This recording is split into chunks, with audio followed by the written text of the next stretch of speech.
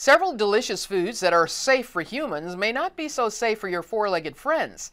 KPLC's Morgan Babineau has some tips on how to keep your pet safe this holiday season. It can spoil holiday cheer, quite like an emergency trip to the vet. From mistletoe to your favorite holiday foods, some things may not be right for your pet. A lot of people think, oh, there's a big old turkey bone, it looks really yummy for my pet to have. Um, that is one of the main foreign bodies we see around Thanksgiving. Vets report seeing an increase of patients around the holiday, but it doesn't have to be that way. I would say just in general, just stay away from table foods because you know typical human foods are sometimes more fattening and more seasoned than what dogs are used to.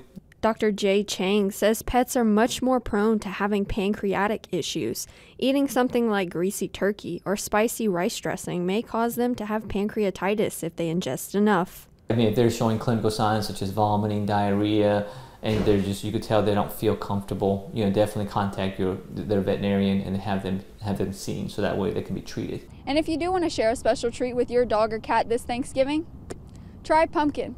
Pumpkin is filled with nutrients and even aids indigestion. Not only must pet owners be aware of holiday foods, but also holiday decor.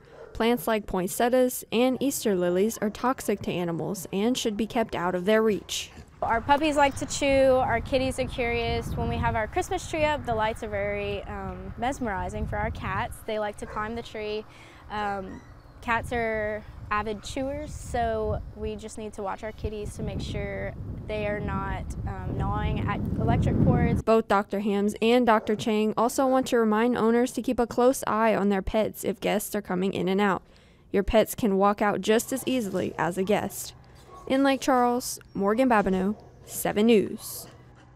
Now, this side note, each of the pets pictured in that video is available for adoption through the Calcasieu Parish Animal Services.